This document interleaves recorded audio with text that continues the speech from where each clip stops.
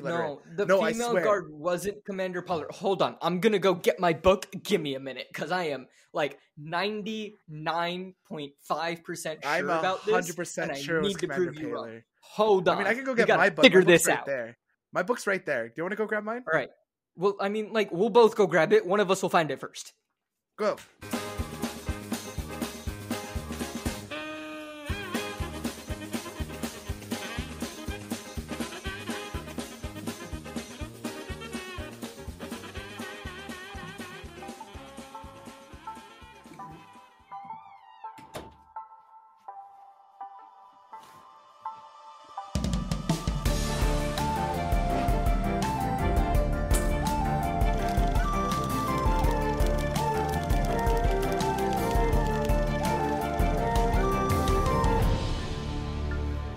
What's up, everyone?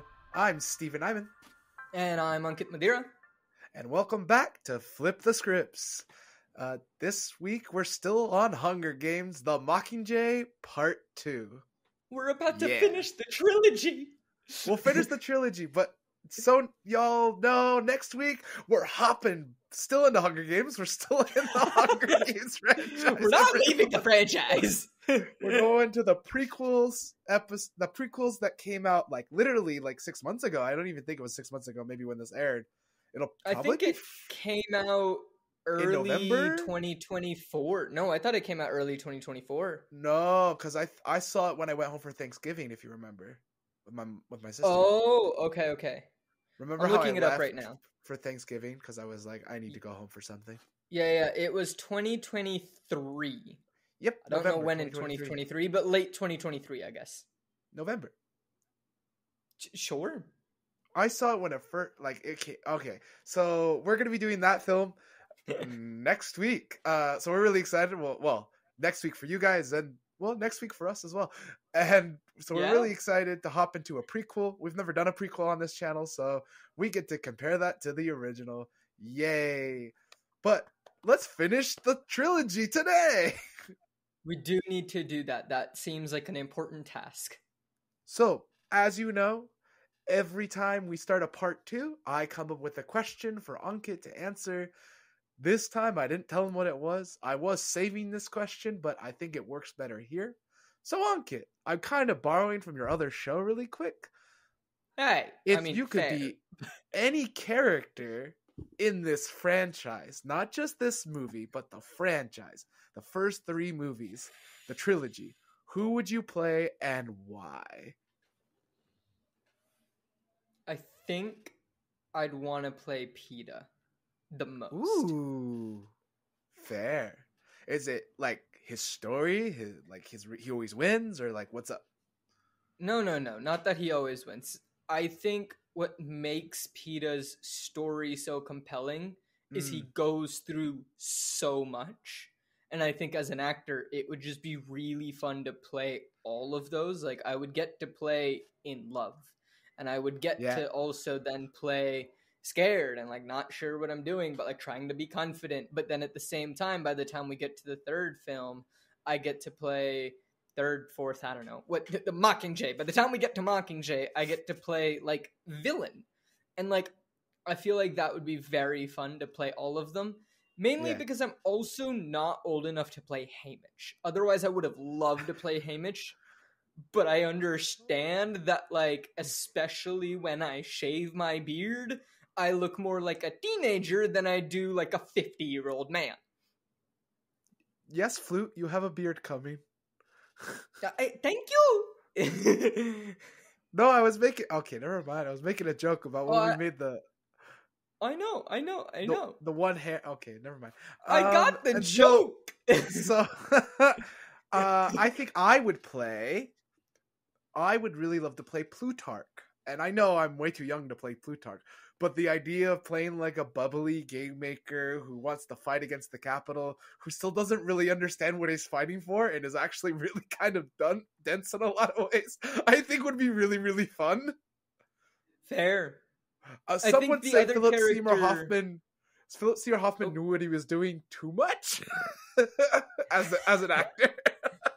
Because I think Plutarch in the books Look. is a lot more bubbly and a lot more dense, and I love it. Here's the problem: is that Plutarch in the film read the source material.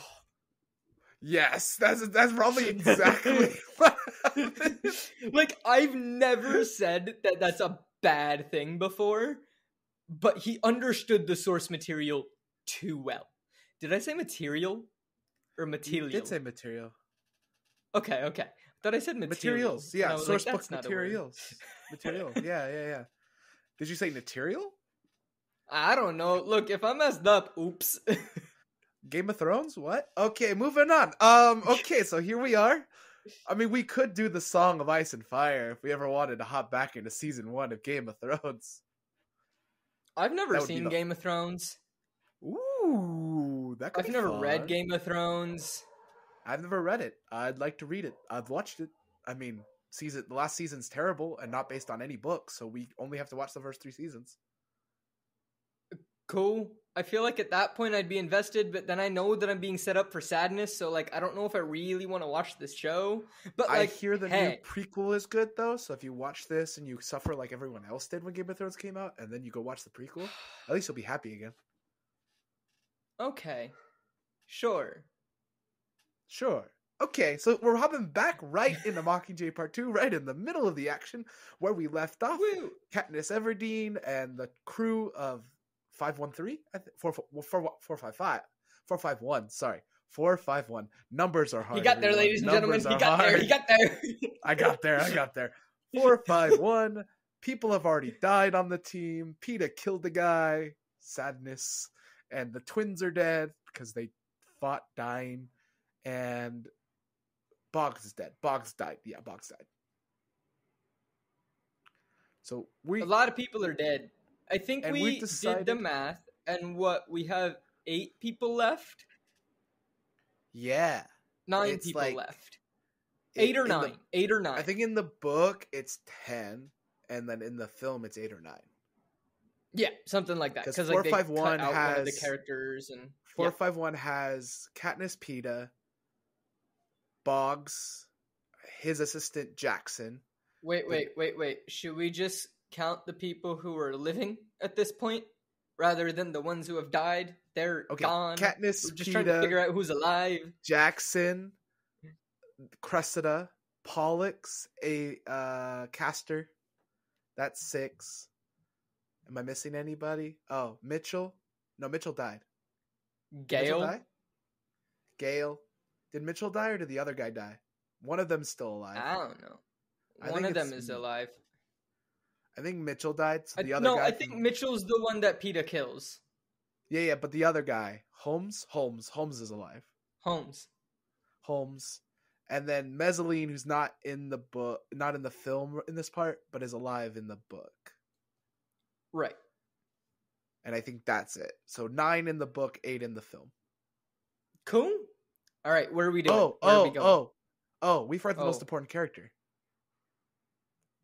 Finnick Odair.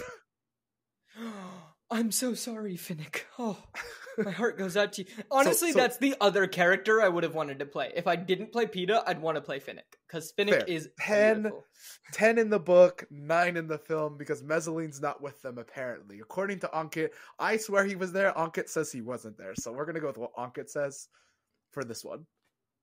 Look, if I'm wrong, just bash me in the comments. I guess. Yeah, I did ask what. I mean, Mezzaline was like in the mo- really important in the book. For him to just disappear like that is crazy. So here we are. Pollux says, "Hey, let's." in his sign language to his brother Castor. He's like, "Hey, let's go underground. Let's let's go underground." And they do sign language to each other, and it's beautiful. Pollux is an Avox, and apparently, when people become Avoxes, they're forced to work underground in the capital. This is new information that we find out in the book. This is exactly told to us in the film. Really good job. And you get a sense of like they had to buy Pollux kind of out of slavery for him to be able to do what he loves to do, which is filming things. yeah, I And wanted to point Avoxes out have such a sad story. They really do. I wanted to point out two things. One, we may have discussed this in the last episode. I just do not remember because if we did talk about it, it was at the very, very tail end of the episode. But Uh-huh. one thing that they missed is that they actually take disguises from the like apartment that they were hiding in Mm-hmm. and they don't do that in the film. And the other one is they cut out Peeta's line saying, like, to Pollux, you are now our most valuable member. Yeah, and I really like that because it shows that Peeta is kind of turning back to normal a bit, and Peeta can still be normal with five four five one, where Peeta is not normal with Katniss, and it really affects Katniss's psyche a bit that that they're not normal still, but he could be normal with Yeah. people. And it was like also because it showed that Peeta knew what to say. Like, nobody else knew what to say in that moment.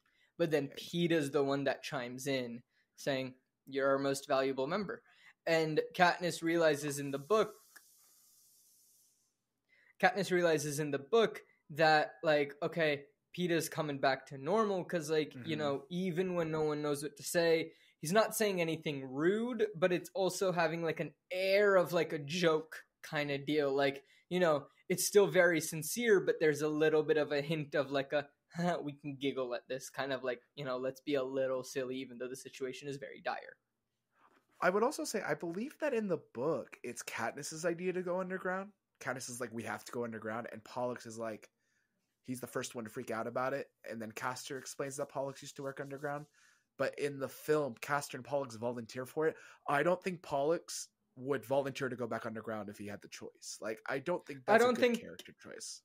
I don't think he would have chosen that. I liked in the book how Katniss really took charge. It still doesn't feel like you know Katniss is Mhm. technically in charge, but it doesn't feel like Katniss is in charge. It just feels like Katniss is bringing Bra along.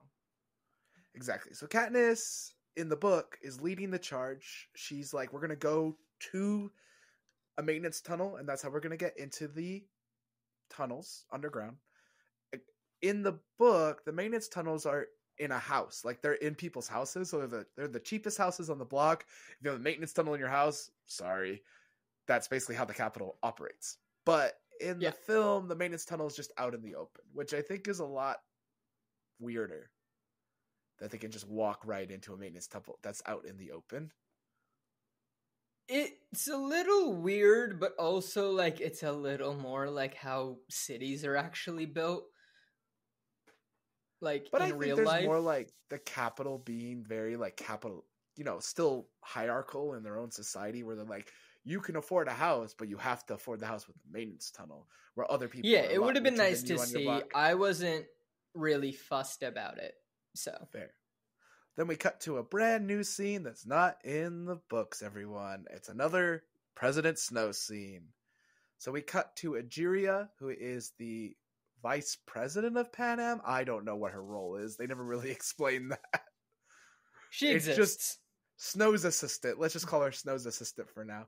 She walks in a scene and he's asleep. Snow is asleep on his desk. He looks like he's dead because blood's coming out of his mouth. She wakes him up. He's like, oh, oh, oh, oh, what? Why'd you wake me up? And she lets him know that Katniss is still alive. And he's Mhm. like, oh, it's time to go after her and kill her. That's the whole scene. Yay!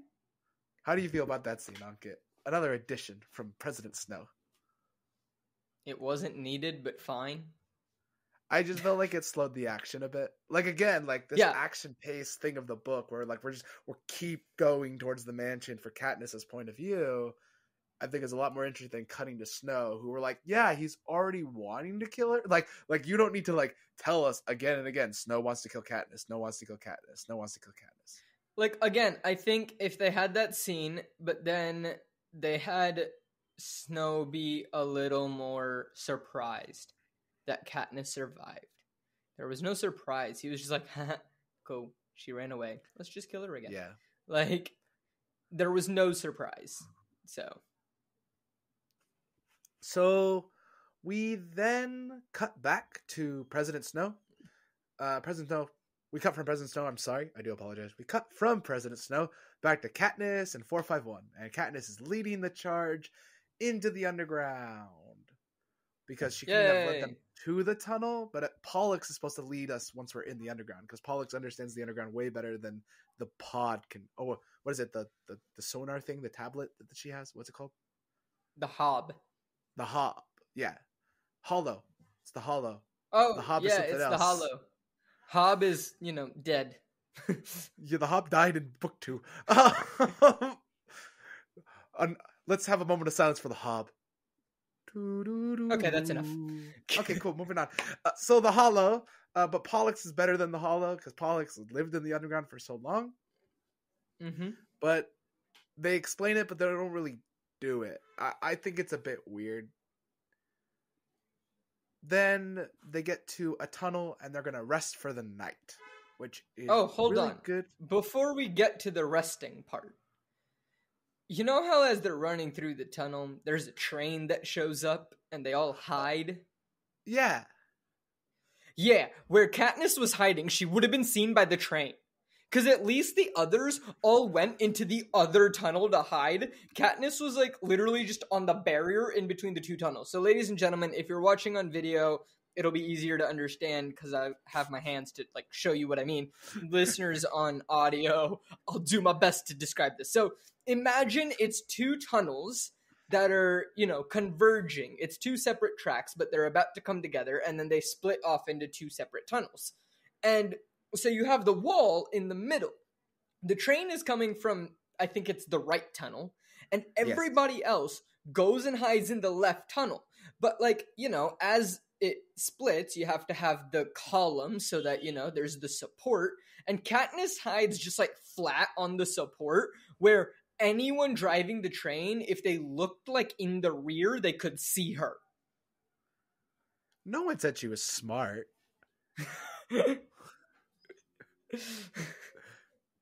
No, I think also like it was weird that the, they decided to make it a train tunnel because I don't think they were train tunnels in the book. I think they're just maintenance tunnels. Don't have trains going through them.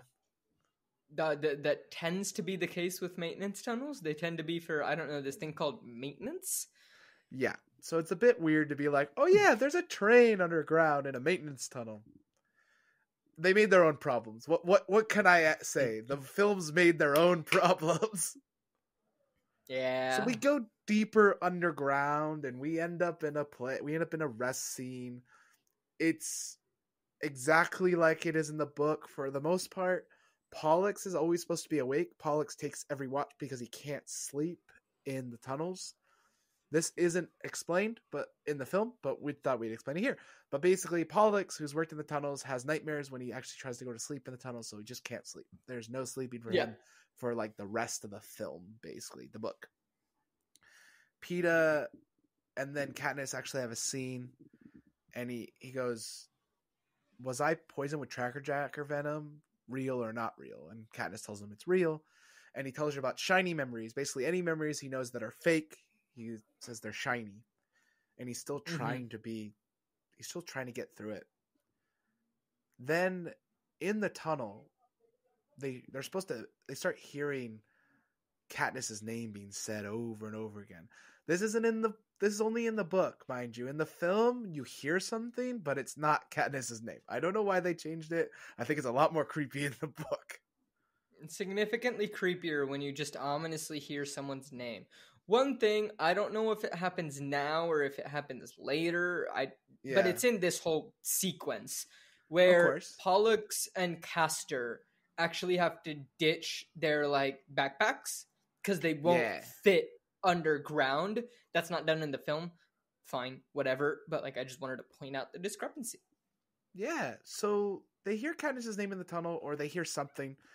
Katniss goes searching for it in the film. Um, no. In the book, Katniss doesn't go. Again, this is the same Again, thing I had a problem with. we never fog. said she was smart. No, no, but this is the same thing that I had a problem with the fog in the last film. Oh, there's a deadly fog coming towards me. I'm gonna go touch it because we da da. Because of da I mean. You never said Because she was smart. It, it it's the same energy. It's the same energy. It's it's just so stupid. It, it's just like why do you have to take one of the smartest characters in fiction and make her dumb? Like it's like when you're watching a horror film and you're watching a horror film and there's the there's the random white la- girl who's about to die and you know she's about to die because all the close-ups on her and about to die and she hears like a thing in her closet and what is the first thing she does i'm gonna go look in the closet I will say I don't watch a lot of horror films just because you know it's not my favorite genre. Like I don't Yeah. really enjoy horror. I don't need to be scared and frightened. Like I have enough of that in just like life. So I'm just like I don't really enjoy that type of film. Some of the actors in those films incredible. I do enjoy like Yeah. thrillers. So like when I watched Silence of the Lambs for the first time, I did really enjoy it cuz like for me it wasn't a horror film, it was more of just a really dark mystery film. It's a psychological like, thriller. kinda- Yeah. Yeah, so like I'm thinking I'm starting to like psychological thrillers a little more, but de- Ooh, like so not you might like horror, The but like I know, I don't know. We'll find out. Hint, hint. Hint, hint. Moving on. So Katniss is dumb. Katniss is dumb, and in the film, Peeta wakes up. It's like, we need to run, we need to go. In the book, Peeta is still talking to Katniss when he's triggered by these mutts. He hears them in the tunnel, and he's like, Katniss, you need to run, you need to go be safe. And it's it's this moment of Peeta only like he's triggered by the mutts, and Katniss is trying to console him. Katniss cares way. It feels Katniss cares way more about Peeta in the book than in the film when he's triggered. It just was a bit like quite contradictory. So they start running, and they're running as fast as they can, and they're supposed to be they're supposed to get to a very tight tunnel.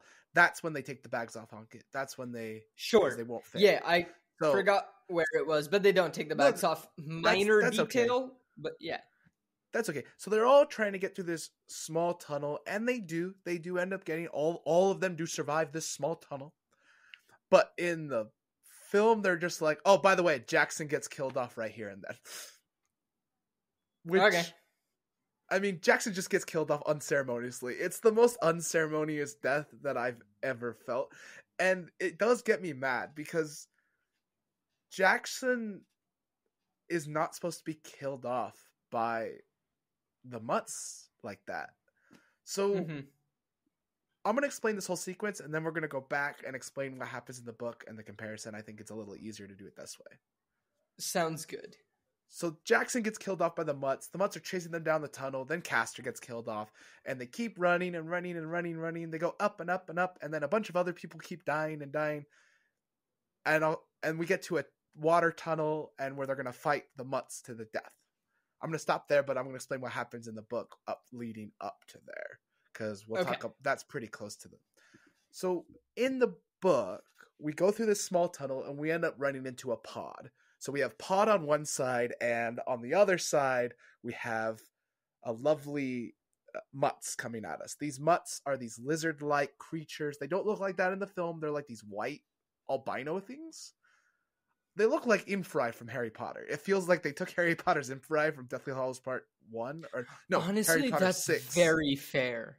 That's Harry Potter 6 fair. and went and went okay, copy paste, control C, control V. yeah. I mean, somebody at Harry Potter might want to sue. No, I'm just kidding. I don't think it's Lionsgate and, and Warner Brothers, two different two different teams, but they do look like Inferi from Harry Potter. That's the easiest way to describe kind of what they look like. They're just like these really large white humanoid creatures. And I like the more like lizard-like creatures that live underground, and you're like, ooh, scary. The book, The lizard makes them a people, they're out terrifying. they're they're actually controlling everything. So they run into a pod and they're all trying to get by it. And Mezzaline sets it off and dies by a big beam, and so does Castor.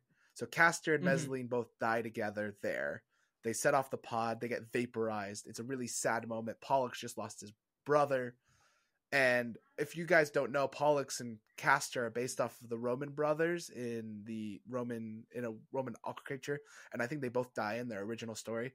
Pollux doesn't die in book, Romulus and. Remus? No, there's a different. They're based off like two Roman. Pollux and Castor are like actual Roman story. There's their names are based off them. Romulus and Remus are Harry Oh. Potter. Something but that I learned Romulus and when I was looking up the names. Oh, fair, yeah, no. I know, but Castor and Pollux are two Roman people. There's a story all about them. They both die. Sure, I just don't know that story. I maybe it came up in like the Heroes of Olympus series, but I Oh, don't remember. I mean, I wouldn't doubt it. There's a lot of I wouldn't doubt stuff in it. Yeah. So then they all are start running after they die. They keep going. So now it's only Cressida, Gale, Finnick, Peeta, Katniss. There's only five, and every uh, uh, they get Mm-mm. like halfway. Pollux. That's what I said. Yeah, six. Sorry, Cressida, No, Pollux, Six. Katniss, Yeah. Peeta, Gale, Finnick. Six. Yeah.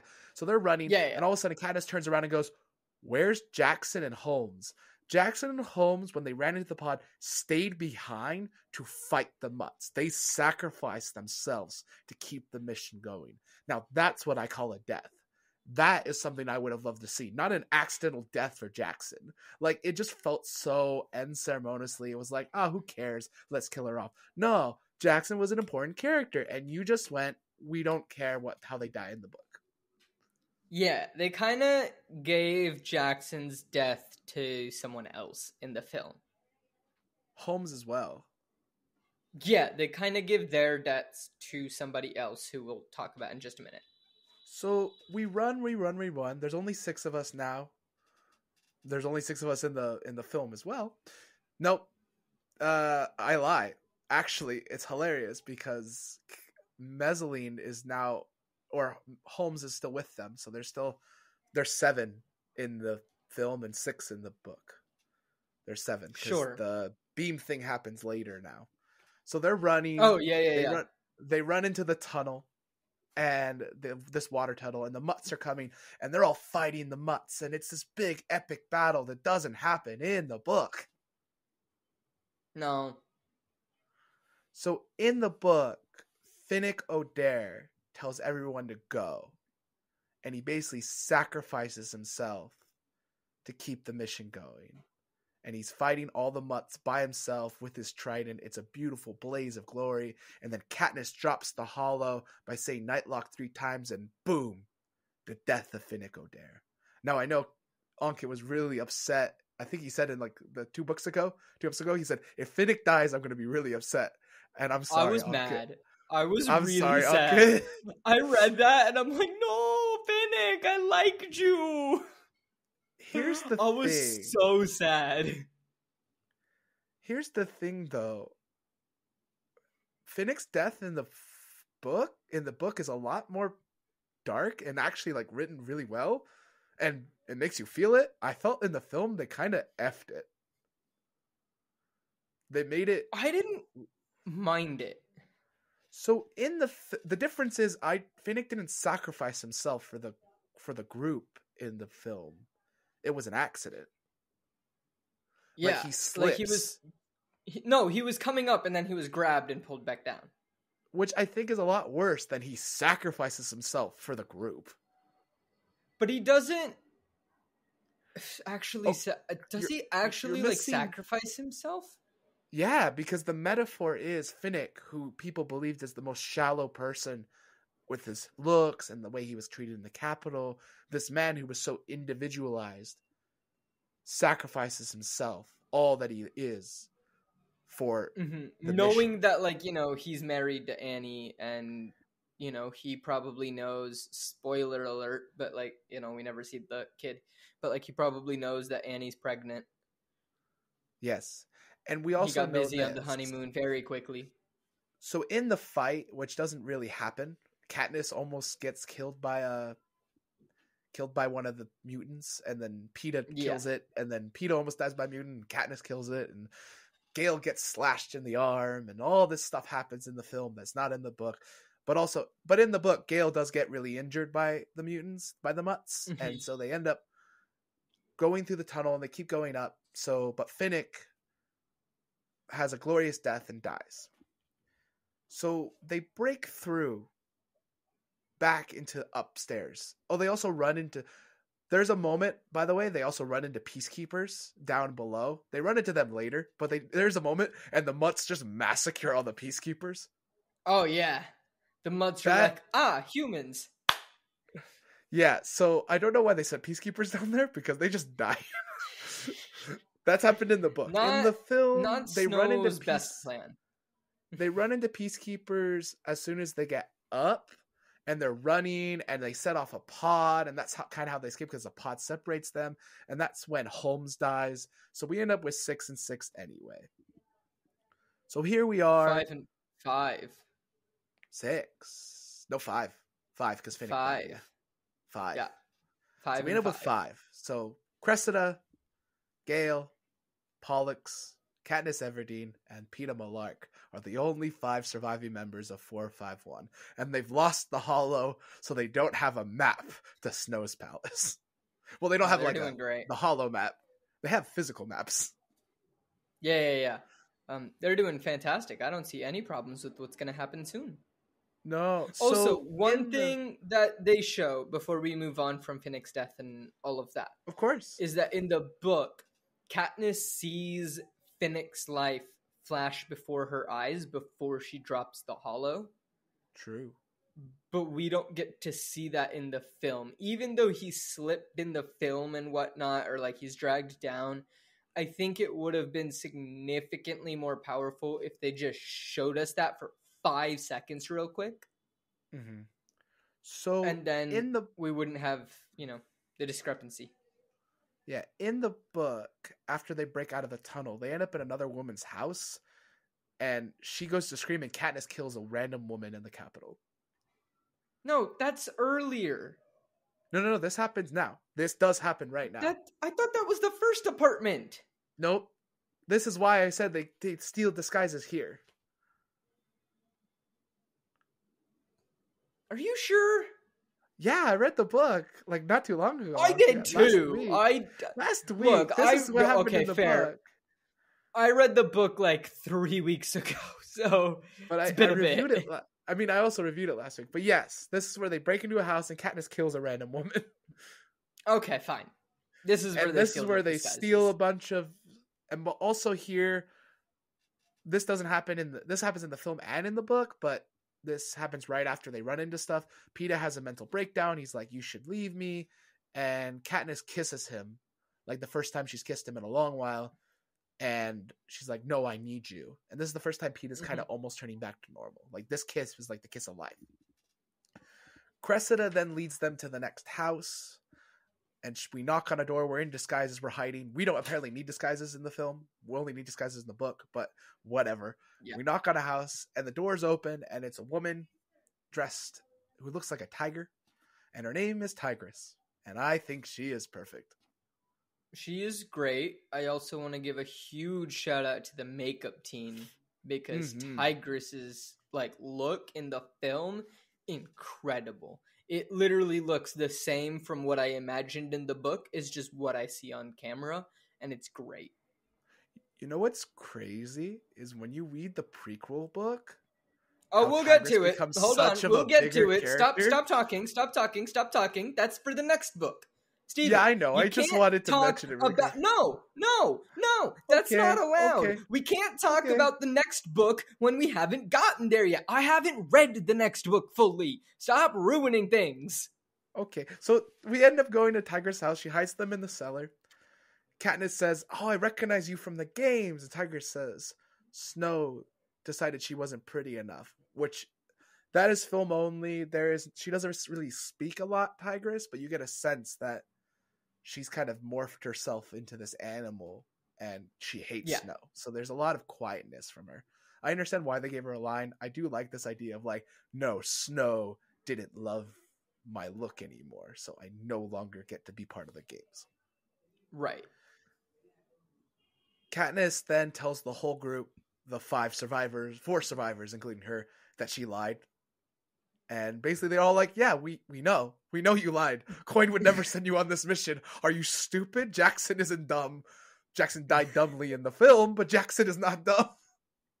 yeah yeah yeah um the only dumb character in the film is katniss Yeah, actually, yeah. and then this is film only, which I think is actually quite good. Though I really like this edition. Peeta starts naming all the people that have died. So all the people that have died in the series that they've killed or have died, or Katniss has killed, or because of Katniss and Peeta they've died. And Peeta says that it, they all belong to Snow. So he's the first one to say that. I think Katniss figures that out in the in the film in the book. I don't think she needs Peeta i to think it's like i think it's like her thoughts in the book, but I don't mind them giving it to Peeta in the film. Yeah. She then turns to a nurse and she nurses Gale's and Peeta's wounds, and it's great. And then they all are sleeping. They basically stay in this bunker for a long time. A lot of you know, it's a long. In the book, it's like two days. It's like two two days or something in the book. Yeah. So then Pete and Gale have a conversation about Katniss and how Gale should have volunteered, and then he would still love her. And they they're like they're like, oh, she'll only stay with whoever she can't survive without. And Katniss is actually really hurt by this because she hears it. But Mhm. It is true for the I mean, most part. it- not wrong. It's very Not book accurate. wrong. This conversation does- very book accurate. she does feel very like weird about that. I mean, there's no like that like you don't know her internal dialogue, but like you can Katniss Everdeen at least has a face where you're like, ah, yes, you're really affected by this Look. conversation. Jennifer Lawrence, good acting right there. Yeah. Then Snow comes on TV. He is offering all the children to come to his home. He is Not all the that they cut children. He's offering. He's offering all the refugees. He's telling all the refu like not refugees, but like capital citizens. He's telling everyone to come. yes, but in the film, he specifically said children, but in the book, it's supposed to be all the refugees. Oh, okay. I missed in the film where he specifically said children. Also, in the book, he's supposed to tell everyone who's in the center of the capital to open up their homes to people as well, which is weird because that's not forced upon because the mansion isn't that big. It can't hold that many people. Nah, the mansion's massive, man. What are you talking about? So then Tigris disguises them as refugees, and Peeta gets a nightlock pill, and they're all gonna go get the mansion. Katniss and Gale go to fight the mansion. I have some issues. With the nightlock pill scene, I do as well. Go for it. Oh, um, uh, hold on. Is yours actually about the nightlock, or is it like Yeah. other stuff? Oh, okay. You give your gripe about the nightlock, and then I'll explain my gripes. Because my gripe is not about the nightlock specifically. Mine's about that scene though. Oh, okay. So in, in in this case, um, two things. One, it's meant to be really cold outside, and Tigris, like you know, does this thing called covering their faces so that they can blend in, and like you know, actually gives them disguises, not just a coat with a hood on it. Like Tigris is better than that. They did Tigris dirty. They made this actress who played the role very well go through all of this makeup and they were like mm, we're gonna nix your character and like not actually have you do anything because like we still need liam hemsworth and uh jennifer lawrence's faces to sell the film because the audience isn't smart enough to realize that you know that's actually them just in disguise that's my first gripe my my gripe. Can I say my gripe before you say your second one? yeah sure Is the reason why Gale gives Peeta his nightlock pill. So so Peeta's asked for the nightlock pill before because that was really important for him because he wanted a way out. And they were like no you'll just take it and die right here. And nobody wanted him to die. And it was a big thing. That didn't happen in the film at all. But Gale gives him the nightlock pill because he's like if I get captured I know Katniss will kill me. Yeah. That is not said in the film at all. It's not said. I wish it was it does add to the story and it's weird because they can they keep the next part of the of that interaction and they don't have the first Yeah. it's like you can't have your cake and eat it too how many times do we have to tell these freaking adapters this Stephan, I think at this point we just got to find a book that like, you know, people think is really fun that might not have an adaptation to it. And I think you and I should sit down and try to write a screenplay for it and see what comes of it. We'll be terrible at it though Oi, I said try. I never said we were making the film. We got to do the process before we come up with a good one. fair so what was your what was your uh thing your you had another thing Ah, you said another my second gripe is them leaving, right? So like fine, Tigris has done this. And then as they're leaving, in the book, there's a whole plan the plan is that Cressida and Pollux are supposed to leave first and they go blend in a little bit and they're like the front line of the thing just to like make sure and kind of see what's going on like you know mm-hmm. in case there's something wrong they can signal to Gale and Katniss who are following them but like from a distance kind of like a 100 meter distance like you know they're behind them about a 100 meters but it's so that Cressida and Pollux can like signal them if they're like okay like run back to Tigris or like go do something like you know you got to get out of here now kind of deal right mm-hmm. that's not in the film the other thing is that after cressida and pollux so then like you know you wait like a minute and then Katniss and Gale, and then like wait another minute or two, and then Peeta is supposed to go out on his own to create a distraction so that Katniss and Gale can get up to the front lines and like you know break their way into the mansion, so on and so forth. None of that happens, and Katniss and Gale just walk out in like hoods and no uh, disguises and just join people. Yep. Okay, moving on. So they, Katniss and Gale are walking towards the mansion in the group, and they're just walking. They're walking. They're walking, and they just get there. In the book, yeah. it's a lot more crazy. In the book, a couple pods go off, explosions happen. Oh yeah, they're running. The whole street falls down. Katniss is trying to climb. Gale gets captured. He's like, "Shoot me, Katniss! Shoot me!" And she doesn't shoot him. So Katniss ends up on her own, going to the mansion. Yeah. Also, another thing is like as soon as they walk out of the building, there's supposed to be floods of people right outside of Tigris's shop. Exactly and when you walk out of the shop, it's completely barren for a little bit. That's the first time we see snow. I mean, granted, they've been underground for like the last like 30 minutes, mm-hmm. so like fine, I'll cut them some slack. But like, you know, it's the first time we see snow, but they still don't cover their faces. I am mad about that if you couldn't tell. But then it was also like, you know, it's completely barren. So if there's any type of camera everyone's just gonna know that oh they came out of tigris's shop.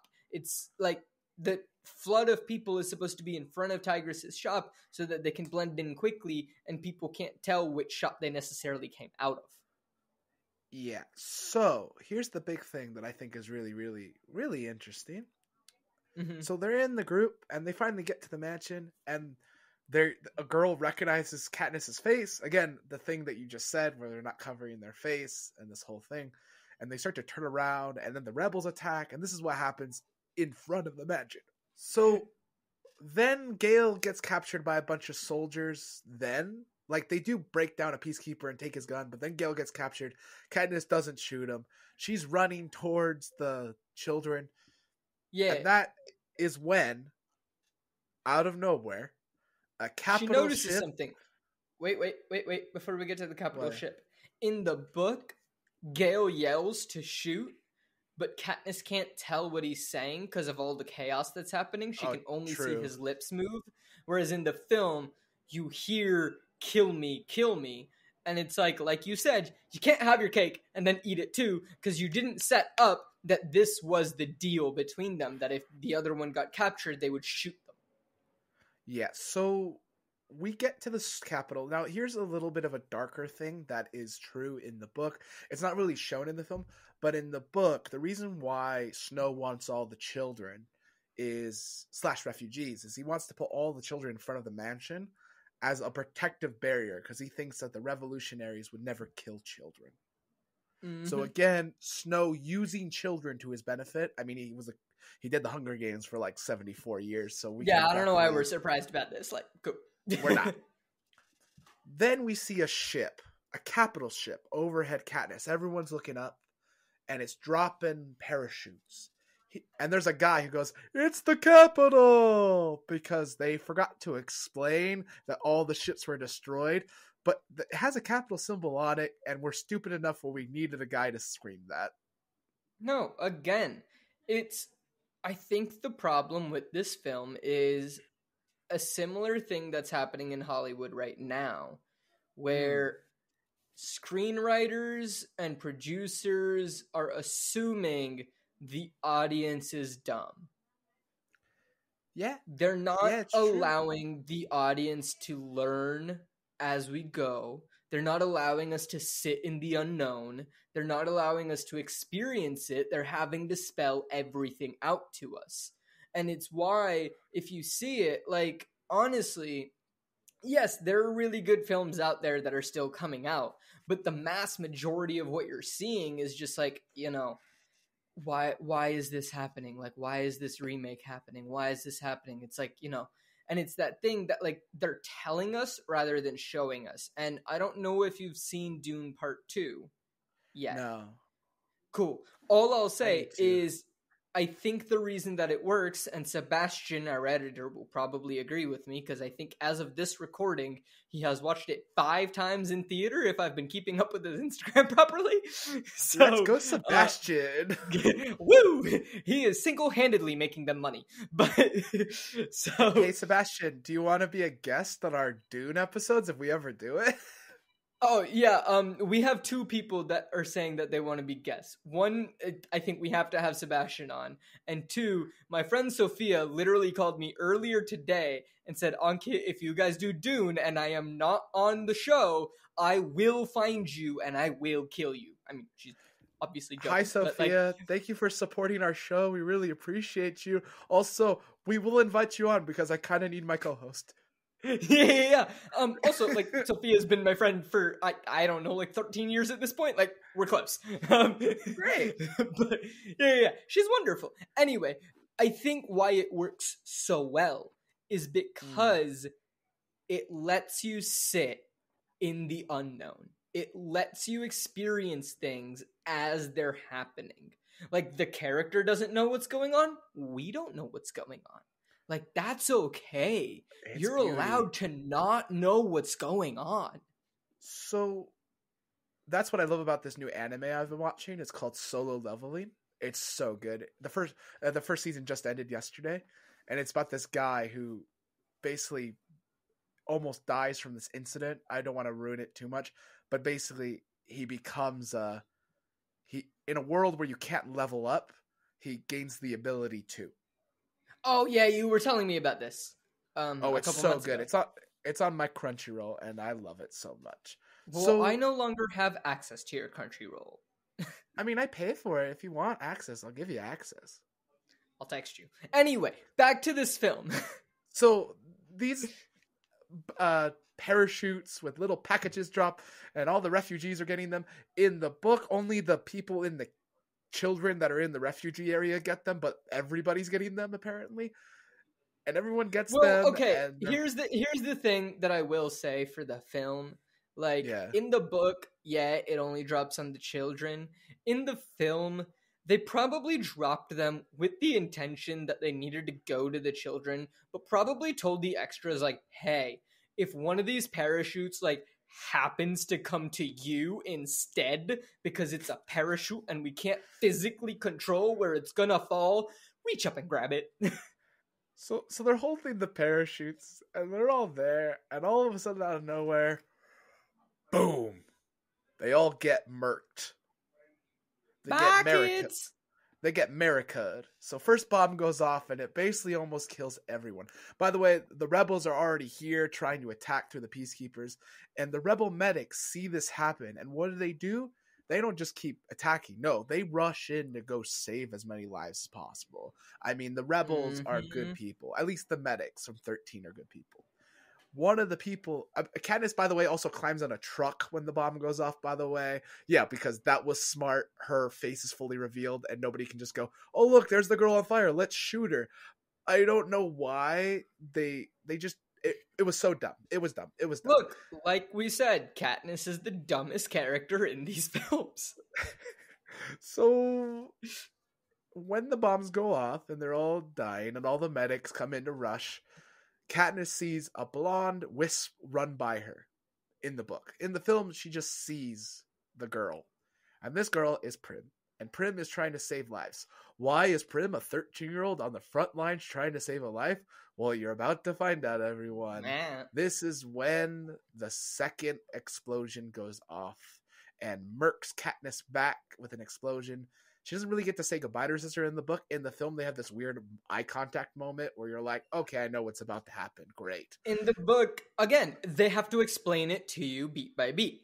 But in the book, Katniss just says, "I think she made eye contact with me." Yeah, Like she isn't she's also like sure.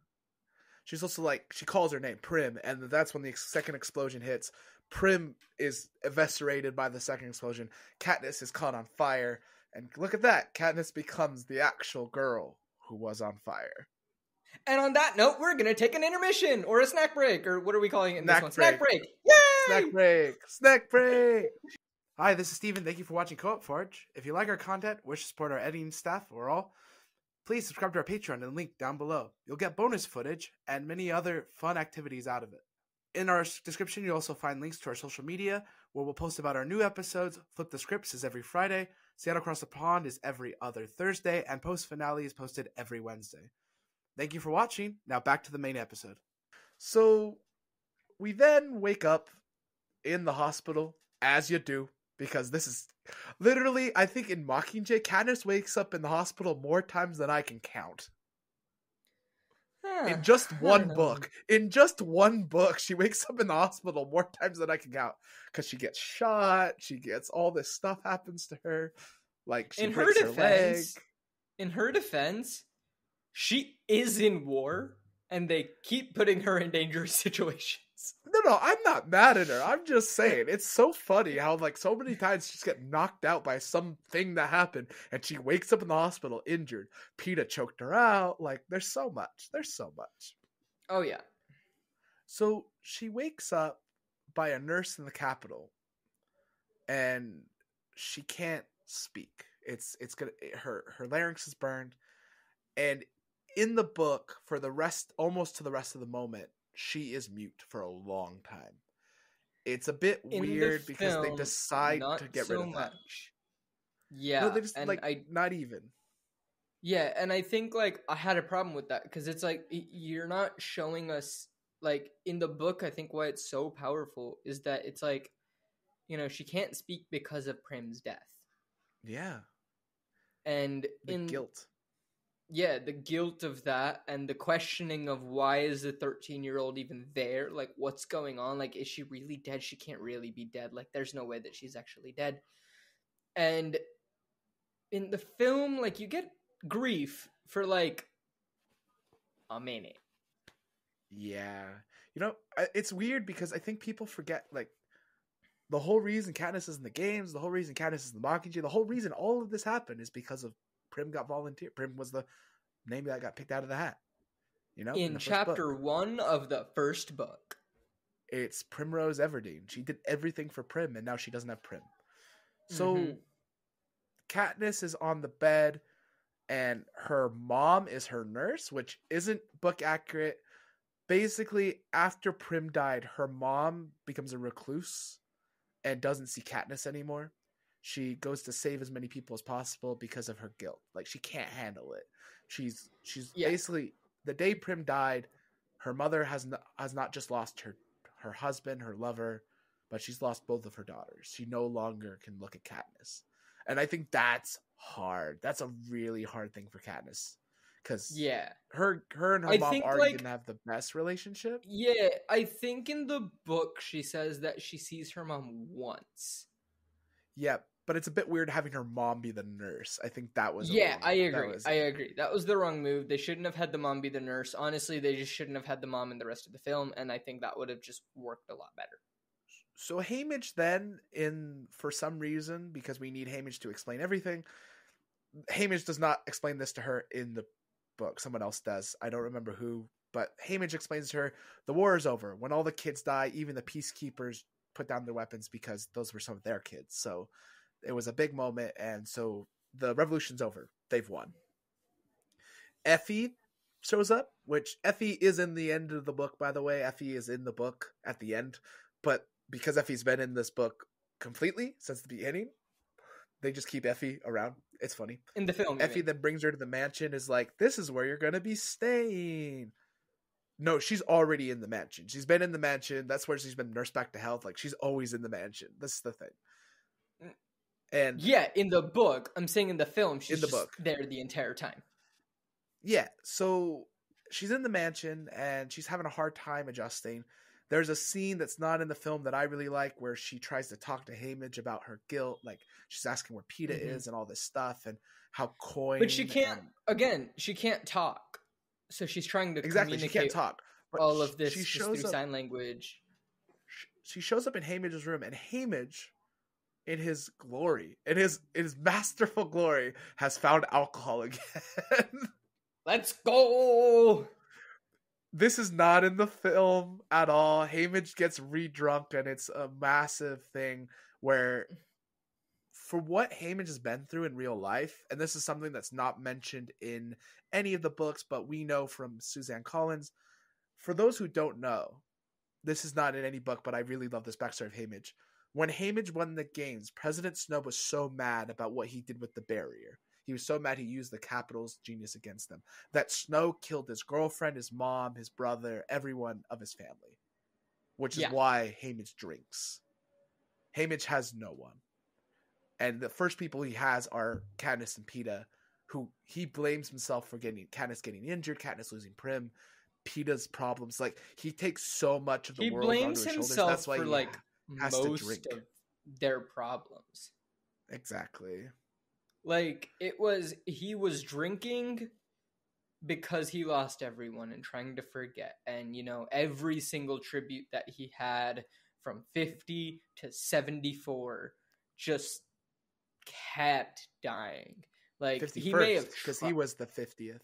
He was the 50th. Oh, right. From 51 to 74. So 51 to 73, everyone just kept dying. And it's like, maybe he did try a little bit, but then, like, maybe there wasn't a drive. Maybe, like, they had accepted death. But, like, you know, that weighs on you when, like, you know, you can't save the kid. And that's your job.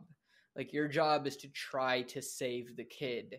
And he wasn't able to do that. So, like, that's going to weigh on him as well and so that's probably why he kept drinking. And then now it's because, like you know, even though he was able to save Peeta and Katniss in the games in the first one, in the Mhm. seventy fourth Hunger Games, it's now blown up into a much bigger thing. And he's like, I, I, I take the blame for getting them into this situation. Exactly. So it's been a couple months, I think. Ha- like a couple months pass in the mansion. Like Snow's trials happening. A lot of things are still happening in Panem.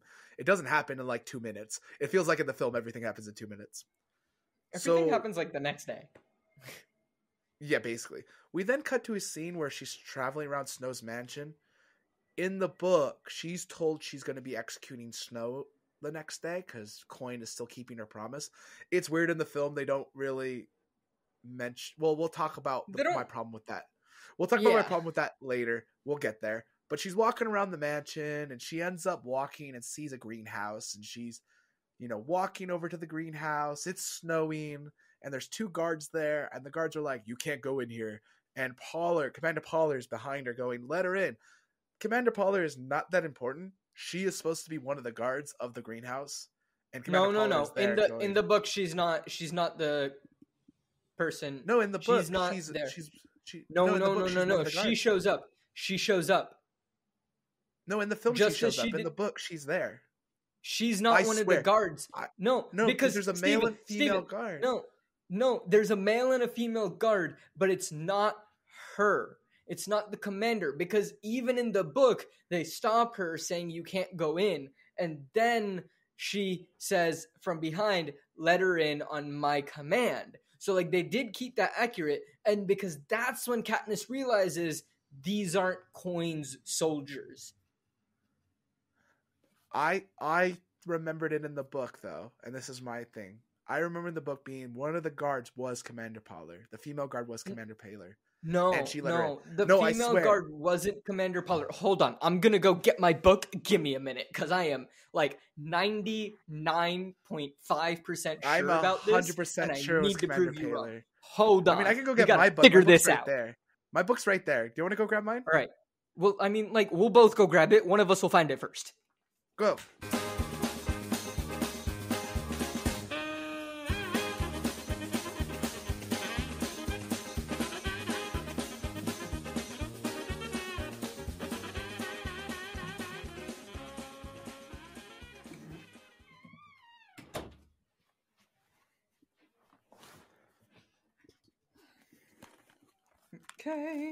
Da.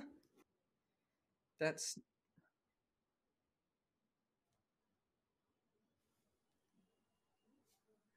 So there's a two men, a man and a woman wear tattered, thrown together clothes of actual rubble, still bandaged and gaunt. They are now keeping watch over a doorway to the roses. Where I move, enter the guns from an X in front of me. You can't go in, then says the man. Soldier, the woman corrects him. You can't go in, soldier, Everdeen, president's orders. I stand there when a woman speaks up behind me. Oh, okay, yeah, you're right. Sorry. I win. Five. So she ends up So- going inside Yeah. and she goes to pick a flower in the book. In the film, she's just walking around in the greenhouse and President Snow's there. President Snow tells her that flower is really beautiful. And they have a whole conversation about how Snow was an idiot, how they were both focused on each other, and Coin is the real enemy, and how Coin this was Coin's plan all along. She wanted the district and the Capitol to fight, so 13 can just get in there. Also, there is a comment that's made in the f- book that's not in the film that 13 started the first war, and this is the continuation of that first war. That 13 Yeah. is the reason the first war happened. The Capitol never declared war. Like 13 has always been the reason the war starts. And I think that's such a fascinating thing to think about. Like 13 is responsible for the deaths of Panem citizens. And while all dis- all the other 12 districts were suffered from the Hunger Games, 13 was just chilling underground. yeah. So to I mean, me, they had their own problems, but like still, they weren't being. Someone wasn't getting shipped off to the Hunger Games every year. but basically he tells her that the ship that dropped the bombs was not him. He also apologizes for Prim's death. He says that he doesn't waste life, and you know that, and you know, he- Yeah. she knows he know you know that. And, And he's that like, "I'm not above killing planned it. children." Yeah, he's like, I, "You know, I'm not above killing children. Both of us know that, but I don't waste their lives, and that is a waste of life." Yeah, and she said she doesn't believe him, and she said he says, "Oh, I thought we promised not to lie to each other," and it's a really, really good line. good callback, really good callback. Really, really good. Also, it's important to note this is the first time she speaks in like two months or like a month, however long it is in the books. Exactly, but in the film, you know, she's been speaking this whole time, so it's not as powerful. and she yeah, doesn't she doesn't speak until she says she doesn't believe him like that's the first thing she says after prim's death yeah, it's just a massive monologue by Snow, and It then is. she says, "I don't believe you," and he hits her with, "I thought we agreed not to lie to each other." and she already had a to be clear in her head she already had a feeling that coins bomb those might be coins bombs that kill prim because she remembers the conversation Gale and Beatty. Gale had with Beetee about the bombs which of course happened earlier in this film compared to in the last film. So then she's in her room. It's the day of the execution all all of a sudden. And Gale walks in. And Ga- she's asked she says to Gale was it your bomb? And Gale's like i don't know. And that is the last time we see Gale. She says goodbye and that's it. And he says he failed his mission to protect her sister he failed his mission to protect Oh, that's family. pretty And book accurate, honestly. Like that's pretty much what happens in the book as well. And Gale and Katniss are never friends again. This is kind of the end of their friendship, which, to be fair, makes a lot of sense. Gale sacrificed a lot of things for this rebellion that he believed in, and he sacrificed his he sacrificed his humanity, and Katniss can't have that. hmm So then we go to a meeting with all the living victors.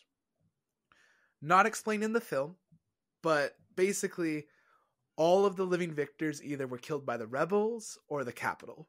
So Lyme, who was in charge of two when we fought the nut, is dead because she was a victor, and many other people have died. Yeah, my feeling is Lyme got that off. are alive. My feeling is Lyme got off by coin because Lyme could have been also up for the ruling area. Yeah, yeah, yeah. I feel the only ones that are left alive are the ones that Katniss fought for, or the ones that Coin could still control. That's what Coin felt like. yeah, because so- who was who was left? We have Enobaria, Enobaria, Joanna. So those two: Katniss, Peeta, Haymitch, Annie, Pete, Beetee, and, and Beetee. Cool. Yeah. So one of the things I should say is it's not explained in the book, but I mean, it's not explained in the film, but it's in the book. People are going to probably wonder why is Enobaria alive? She's from District Two. We hate District Two. She's alive because in the book, Katniss literally asked for her safety, so Coin had to keep her alive. Yeah, That was part of the agreement to become the Mockingjay, but they forgot to put that in the film, so it doesn't make any sense. Nope. But I mean, like again, the reason, in case anyone has forgotten, because it's been a while since we talked about it, she requested the safety because she was like, it's not her fault that she got taken by the Capitol. Like No, she wasn't in on the plan of like she wasn't in on the revolution plan. Like she wasn't in on any of that to like break me out. But like I know what they're going through. Like it's not her fault that she was put in this situation. So you shouldn't kill her. So, Coin explains to everyone that she's the interim president of Panem, which is not true. She is straight up in charge in the book. I don't know why they're like, nah, she's just the interim. It's fine. Because I do enjoy Haymitch's line going interim. How long is that supposed to last? I know, I really like that one. She is just straight up in charge. There's no voting for president because, you know, she's basically Stalin. If Well, Coin is Hitler. Even in the book, she says like we're going through a rough time right now. A lot Yeah. has happened. So like we'll do an election after things have died down a little bit. And that's said in the film as well. So in the book, she's trying to, they're trying to find a way to calm the rebels down now. So they need to do something big to calm the rebels down. This is not explained in the film, but in the film and the book, this is what is the similar thing is she says that they want to have a Hunger Games with the Capitol's children. This is a big moment. Everyone in the room was like shocked. A lot of the tributes are very upset. Peeta's upset, Annie's upset and they're and she's like, but I couldn't get anybody to vote on it, so you guys have to vote on it. So the living victors, the seven of you, get to vote on it. The majority wins. And no one can abstain. That was a very And big no one- portion of it. Yeah, no one can abstain. So everyone starts voting. Joanna is the first to vote, and she votes yes. She's like, President Snow has a granddaughter. I'd like to see her in the games. And I'm like, dang, Joanna, you are merciless. I mean, I don't know why we expected anything else from Joanna. I'm here for the chaos. Like she has stuck Yeah, true to then- her character. Her character has always been Fair. chaos. Then Enobaria, who also agrees with Joanna, which is crazy. And like, the first they didn't want her there, but then she like votes for Joanna's side, and Joanna's like, actually, I like you now. So Enobaria also votes to kill the Capitol children. Peeta and Annie both vote no right after one of each other, and they're like, no, there's been enough death. We need to end this death. And Annie's like, if Finnick was still here, he would have voted no. And Annie's pregnant, by the way, and Joanna goes, but Finnick isn't here, and it's Snow's fault. And there's a he- little bit of a tiff there. So now it's two to two. Beetee votes no as well because he's like, there's too much death. There's too much, and I think Beetee personally also feels responsible for Prim's death in that moment. Yeah, it's not explained again, in the film think- or book, but I, I do feel I do love that connection. I think Beetee, it's the same way, right? Where Mhm. he doesn't know. It's similar to Gale, where he's Yeah. like, I don't know if it was us or if it was them. Like, I legitimately don't know, but I know. Like, I think deep down, Beetee and Gale both know we're the ones that designed the bombs. Whoever did Yeah. drop them, we're the ones that designed them. So Haymitch and Katniss are the last to vote. This is a gripe that I have with this scene. So Katniss does vote yes. She Mhm. votes yes of her own accord for Prim. That's in the book. In the film, she ties her yes vote to her getting to kill Snow. Like I'm like this is already it gripes me so much because it's stupid. It's like Yeah. Snow already agreed that you get to kill Snow in the last No, Coin. book. Coin agreed that Coin- he gets sorry. that she gets to Yeah, kill yeah. Snow. Coin already said you could in the last. She had to follow through on that, and you were already being. By this point, Katniss has already prepped and primed to kill him.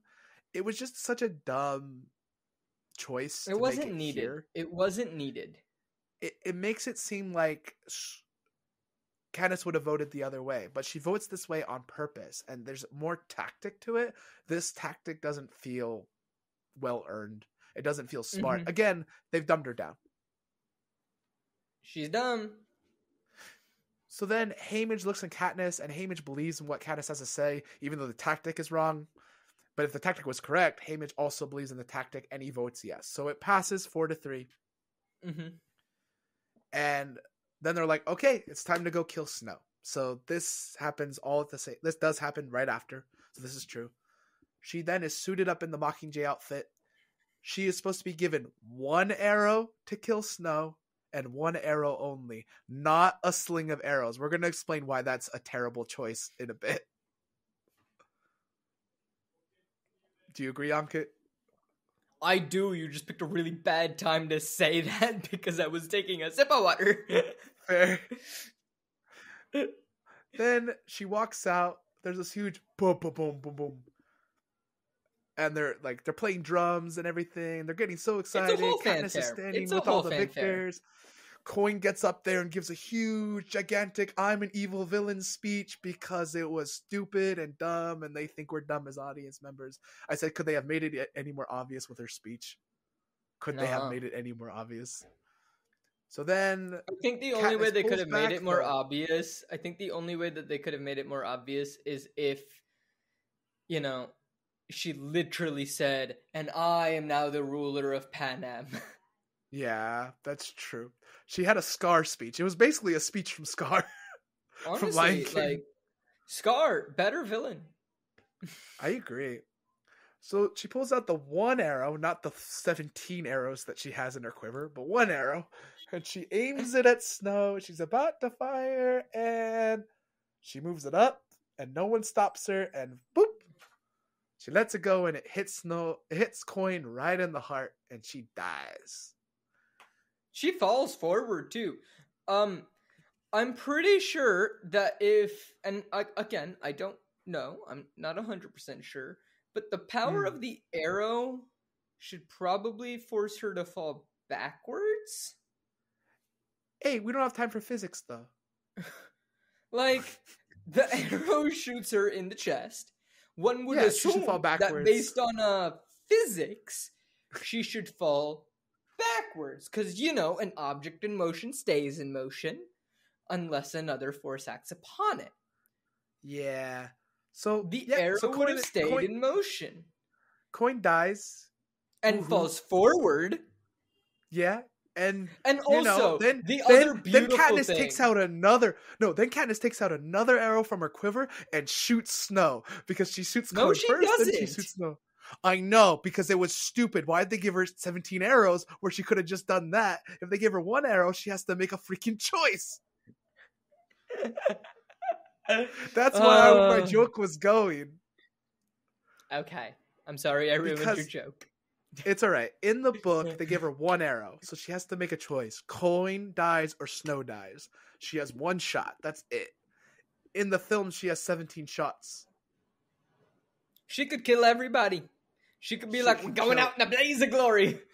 Exactly. So she goes to take the nightlock pill. Peeta grabs it and stops her. She gets arrested. A bunch of people run forward and basically kill Snow.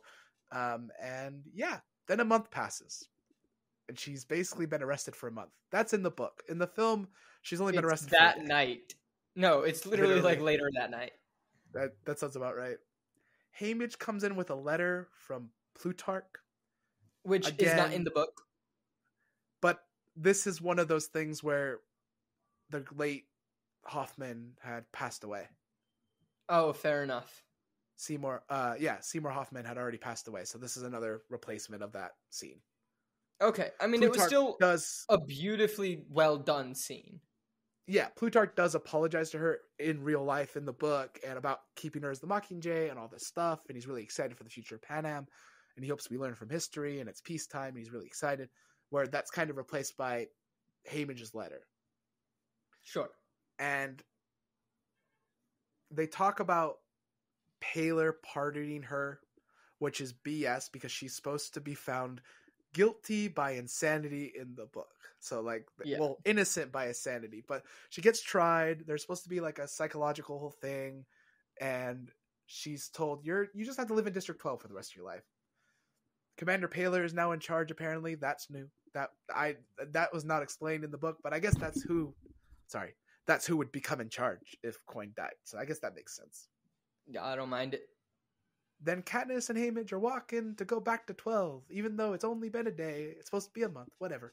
So they're walking They back to 12 and they're time. saying goodbye to Effie. And Katniss is like, I'm gonna miss you, Effie. da-da-da." And then Hay and then Haymitch is like, Goodbye, Effie, and they kiss, and I'm like, Oh, that's interesting. I was like, all right, cool. I'm, there was no romantic capability between those two actors in any of the films, but I guess they wanted them to end up together. I did too. Or at least just like a kiss goodbye. yeah. So All, all I had in my notes there was Elizabeth Banks in this scene is amazing.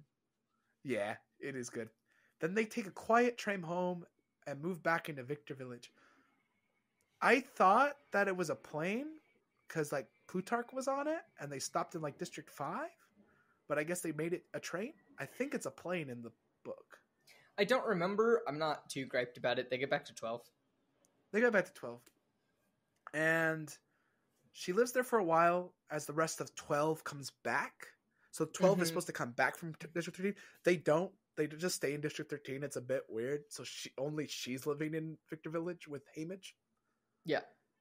And Greasy Sae, who is not in the film, who I love, I love this character. She's supposed to come in and force her to eat food, and and she's also telling her, she tells her how Gale's in District Two, and she's never going to see Gail again, and all that stuff. But that's not happening, so it's fine. She It's walks kind in the of house. like Greasy Sae becomes like a mother figure to her of like, all right, like we got to get you better. Like it's okay. Like you've been through a lot, but like it's my job to like try to help you the best I can. And like she comes in, she cooks for Katniss, helps her, things like that. Yeah. Eventually, there's supposed to be a moment where Buttercup shows back up at the house, but Buttercup is just in the house when Katniss first shows up back at 12. So they skip a few weeks. It's fine.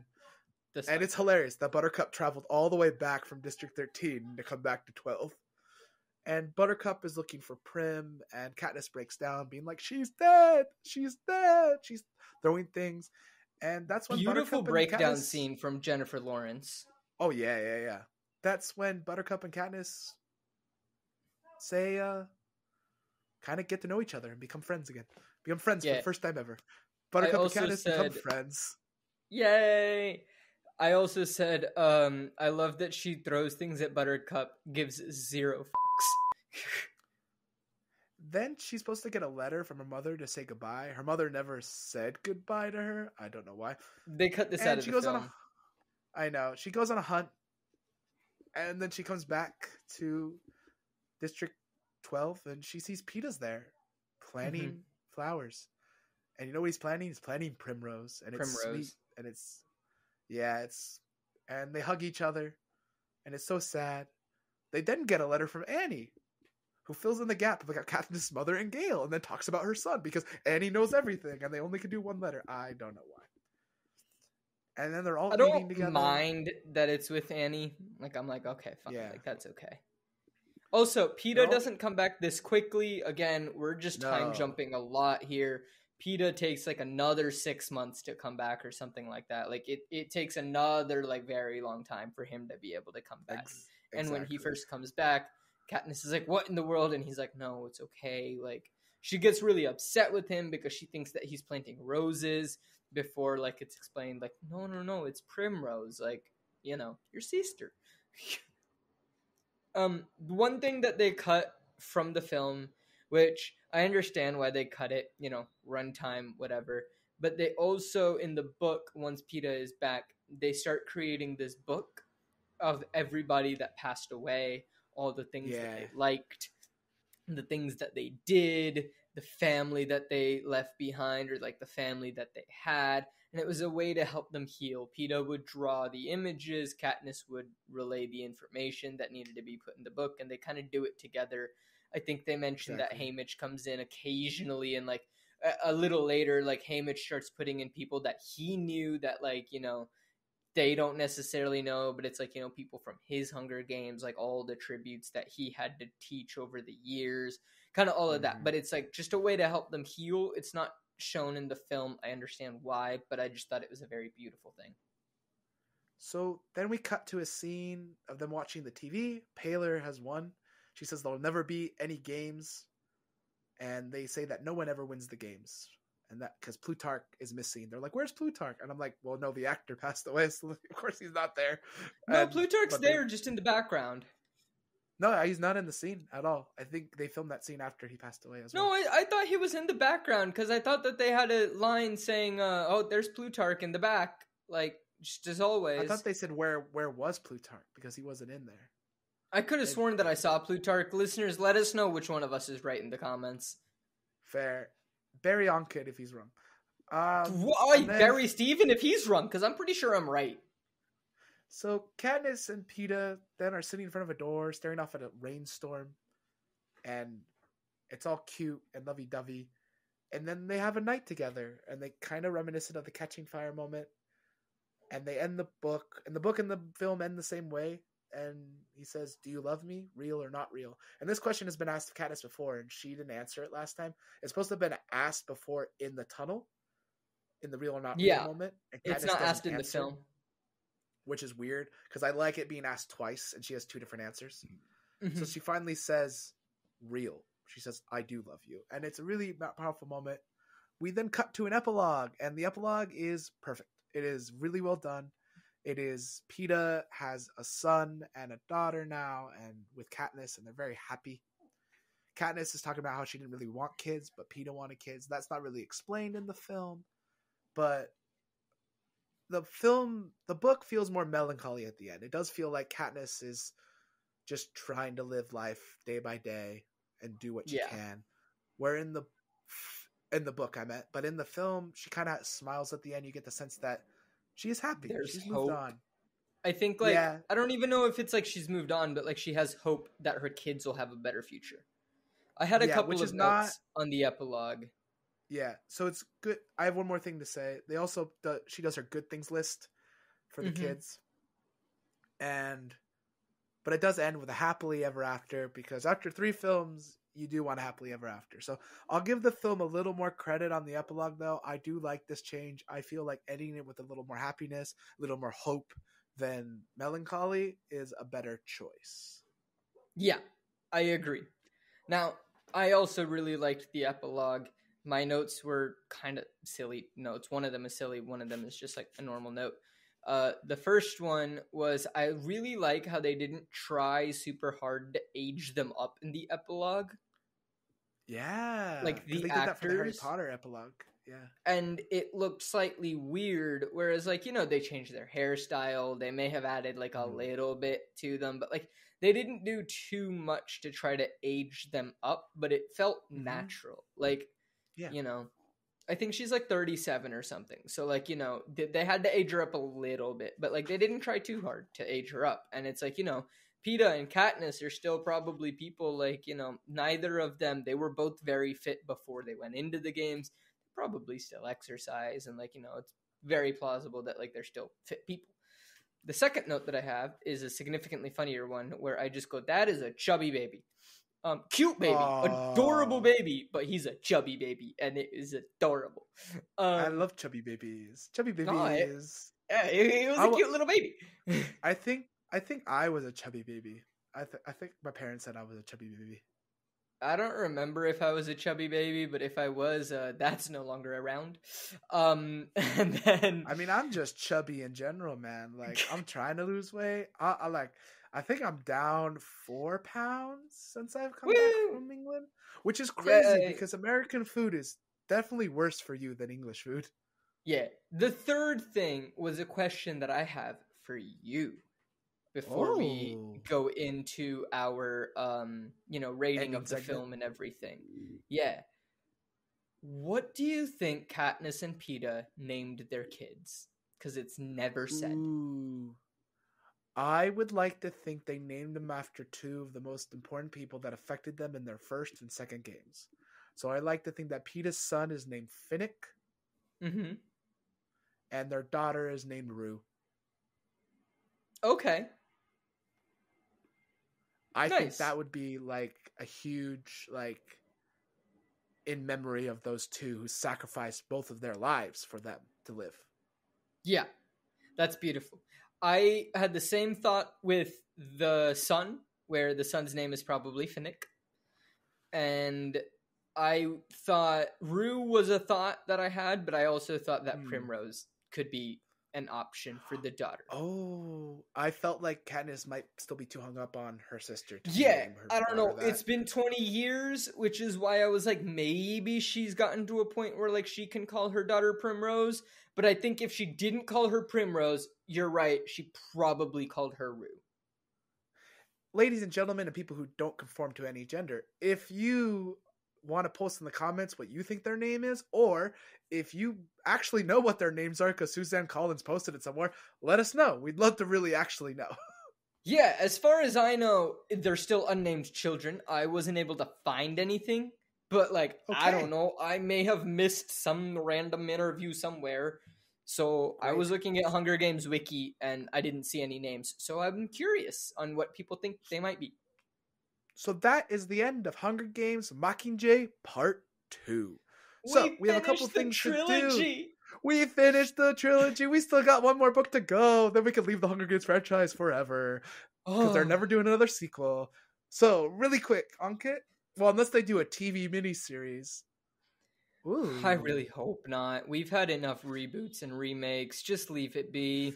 Come up with something new. There are other films Yeah, we don't need another other Harry TV Potter shows. series. Look, there there are other films and other TV shows that are incredibly good books and series. Go adapt one of those. Yeah. So, Ankit, my question for you is: What would you rate the film without it being an adaptation? Just the film by itself. Don't even compare it to Part One. Like Part One doesn't exist either. Just as the film of Part Two. Five point seven. Ooh, I think I'd give it a six point two at least. D. A Sure. D. I think they knew what they were kind of wanted to do, and they set out to do it. Yeah. I think my biggest gripe with it is what we've been saying the whole time in these last two episodes is they sped everything up, which I understand why they need to do that. They sped everything up. I think the other thing is in this film specifically, I just felt like Katniss was the dumbest person, and I was like, why are we trusting her? Like, n- like there's Fair. no leadership skills that we see of her at all throughout the entire film. And so I was like, wrong. why are we following her? I don't feel like we should be following her. Feel like we should be following someone else. And then um yeah, my third thing was like I don't know, it just parts of it fell flat, parts of it just like I, I just found myself not caring that much. Yeah, and I don't really think the Peeta Katniss relationship at the end was earned as much as I wanted it to be. I love the epilogue, but I don't think the moment before the epilogue ended was like, "Do you actually love me?" Like in the book, it's earned, but in the film, if I didn't even think about the book, I don't think it was earned. Now, rating of the book, Mockingjay as a full book because we did talk about the part one just as a film, but just the book, I think this book to me, I'd give it a solid eight point five. I'd probably give it about the same. because I think it's a really solid book. I do like it, but I don't love it as much as Catching Fire. I think it, Sure. it suffers from so much story to tell in a limited book. I think that Mockingjay actually could have been to another book. I think I think Suzanne Collins was forced to finish the series. I think she could have had four books. I think yeah, I don't know why she was forced to finish the series, but I did read that somewhere that like there was some reason that she had to Mhm. finish it within 3 even though I don't even think she necessarily wanted to. Again, I don't know 100% on that. So listeners, if anyone knows anything better, please let us know. But that's my Now we're hopping into-. The adaptation grading. Let's rate the adaptation. One through ten. Ankit, go. Go, buddy, go. I think just for this film, right? Uh, just for this film, sir. We we talked about part one last week, uh, two weeks ago. I'd give it like a solid 7. As an adaptation, six and a half, maybe.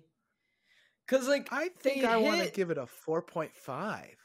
Seriously, Yeah, I think they missed a lot. I think not. They did hit points, but I think that like again, there's a there's a thing about like doing something but then doing it well and i think there's a different thing in adaptation where it's like yes you can have the thing from the book but if you don't actually implement it the way the book has it and it makes sense and actually drives the story forward well enough then it then it's not a good adaptation i would rather them keep the keep the characters acting like the characters in the film and follow the follow what happened in the book than Mm. them follow what happened in the book but not keep the way the character's supposed to act Fair. I think the reason that I'm willing to give it a 6.5 is that, like, you still hit the major points of, and like, you hit most of the major points, and the major points you didn't change. Like, there were changes in between it, but for the most part, this film the major points when it hit hit them well. Okay, so we've now graded the book, the film, and the adaptation. So this is the first time we've ever done a part one, part two, obviously caused by the Harry Potter schism. So what I mean by Harry Potter schism is Harry Potter decided after six long movies they were going to split the last film into two because they wanted to get closer to the book.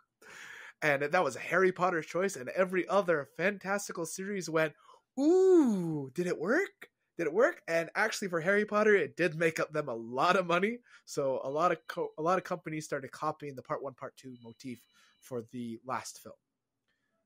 Now, did it work for Mockingjay? Part one and two. Was it smart to split it into two? No. I Jesus. I wasn't expecting that. Scared me with the F bomb over here. Jeez. Sebastien, I hope you complete that. Gosh. Um that one was passionate. oh, that was way faster passionate, more than I was gonna give it. I mean, well done, sir. Well, I give my hats off to you. Um, no, yeah, I completely agree. Uh, F no. Uh, no, wait, I'll say it just like Ankit did. No.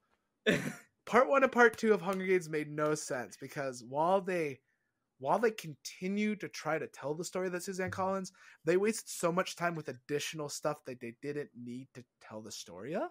It felt like, oh, we have so much time, we can add so much to it, but then we're like, oh wait, we sacrificed the actual stuff from the book.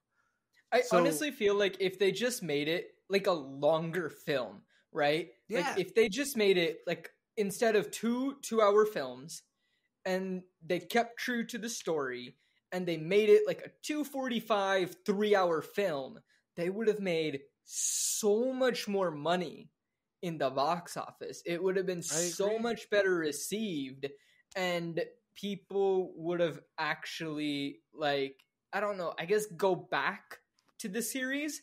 Like with Harry Potter, I'll still hear people being like, "Oh, I go back and watch Harry Potter every year." Mhm. Right? Or like every Yeah. Christmas I start watching Harry Potter again or like once every couple years I'll go watch it. It's a similar thing with like Lord of the Rings. People are like, "Oh yeah, like, you know, Oh, they're three and a yeah. half hour films if you're watching, you know, the director's Four. cut, which is the proper I'm sorry, Four. Four hour films if you watch the extended editions, which is the proper way to watch the films.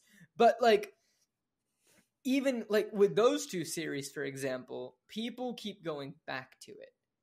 I Yeah. don't hear that happening with the Hunger Games films. I hear it I with maybe the books, and people are like, oh, that book series is wonderful. Whenever I'm talking to someone, they're like, yeah, that book series is beautiful. But it's never, I enjoyed the film series. I think, and this is a really interesting point. I think when they decided to make it a part one, part two, people got Hunger Games out. But what I what I mean by that is part having splitting into two actually made a lot of people not watch it. And they didn't want to watch part two. Or they watched part one and part one wasn't as good as it could have been. I think part one is worse than part two, actually. I, I do think part one is worse than part two Yeah. because part one doesn't have an ending because you're you're ending in the middle of a book, and it didn't make people want to go see part two in the fil- theater. So they just waited for a streaming service, or they waited for it to come on DVD, or they waited for, or they just didn't watch it. I think the last Hunger Games I watched before I watched Mockingjay, I never finished the Hunger Games franchise. I ended at Catching Fire. I watched Catching Fire and I loved it, and then I heard they were splitting the two films, and I lost interest. And it's such an interesting thing that in that that decision to make it two parts actually got rid of a, majority of the fan base. I think you're right. If it was one film, it was one film, just one film. I think it would have brought people to it. And I think I like also the fan base and like you see it now, right? Like I think Yeah. at the time, when did these films start coming out? It was 2009. no, no, no, something like that. Hold on, I'll look it up real quick. So Hunger Games, like this one, part two, came out in 2015. Well, that's what I mean. But like the first one, I think came out in 2009. Uh, t- maybe I thought the first one came out in like 2010. Um, Oh, let me check. right. So, as you can tell, Ankit and I did not agree with the part one, part two split, and I think that's fine. If you like the part one, part two split, tell us in the comments. If you didn't like it, tell us in the comments. We want to know if you agree with us or not. But we think that splitting it into two parts actually hurt the adaptation more than it helped the adaptation, and it gave the director and writers too much freedom and to do stuff that didn't make any sense. Too many additions that just kept dragging down the runtime, like a plane flying for five minutes to District 12 in the first Oh part. Oh my god, it's so unnecessary. Or like So- her sneaking away to go join the fight in this one. It's like what? Like Yeah. no. It just Well, didn't make if sense. You enjoy, yeah. If you enjoy our banter, you enjoy us. Please follow, like, subscribe, do all the things. Um, and thank you so much, Ankit. It's been a pleasure. Sebastien, thank you for being our editor, and we'll see you later. Bye. Oh wait, before we leave, I mean we've been hinting at it, but like we should maybe let the people know that next week we are gonna finally be talking about the Songbirds and Snakes, which is the prequel, and it's the story of President Snow and kind of like how he came into power is my understanding. I haven't still fully read the book. I am working on it. I will before we record. But that's what we're Yeah. doing next. If you want to read the book, if you want to catch up on the film, just so that you are all aware of what we will be discussing next week. Peace out. Bye, everyone. Hello, and thank you so much for listening to this episode of Flip the Scripts. Flip the Scripts is created, hosted, and produced by Ankit Madhira and Stephan Nieman. Our editor is Sebastien Hollich. The art is by Kshitija Madhira, and the music is by Sebastien Hollich. If you like the video, you can click to listen to the next part, or if it's not out yet, you can find one of our previous episodes. Or if you want to check out some of our other content, here's a fun video from another one of our shows. Don't forget to subscribe, hit that like button, comment, and hit that bell icon to get notified of all of our content when it releases. Subscribe to our Patreon if you want bonus content. Links to all of our social media and Patreon are in the episode description down below. Thank you for supporting our content. Come back next week for more shenanigans from Co-op Forge. New episodes for Flip the Scripts release every Friday, Seattle Across the Pond every other Thursday, and post finale every Wednesday. Thank you so much for listening, and we'll see you soon. Bye now.